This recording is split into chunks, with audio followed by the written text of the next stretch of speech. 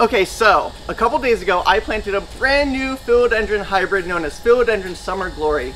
It's a hybrid between Philodendron gloriosum and a Bob McColley red hybrid that the amazing, incredible breeder LariAnn Garner created. And so, our team member Alec is doing something really cool with these hybrid philodendrons. So, Alec, what are you doing over here? Hello. So right now I'm drenching with something we call a Obtego, biofungicide and plant symbiont.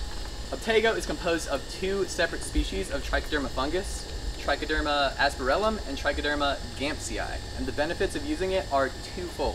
One, it protects against fungal pathogens, and two, it forms a symbiotic relationship with the plant, which assists in plant growth. So how does a fungus protect against fungal infection?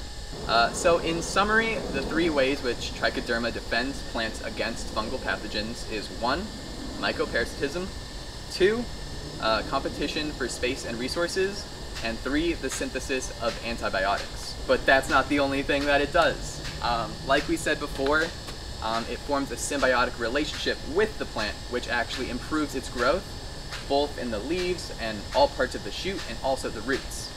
Um, and there are a few ways that it does this, some of which are still up for discussion uh, by scientists. One, the primary way that we know of is something we touched on before. Uh, it assists in mineral uptake um, by acidifying the rhizosphere and changing the chemical composition of these minerals. It makes them easier for the plant to uptake and makes more of these minerals available to the plant.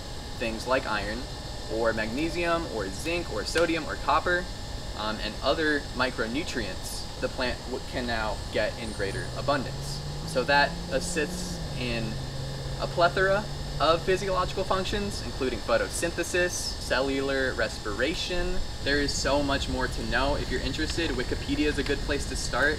Google Scholar has thousands upon thousands of articles related to trichoderma, and I implore you to check it out. Um, happy researching.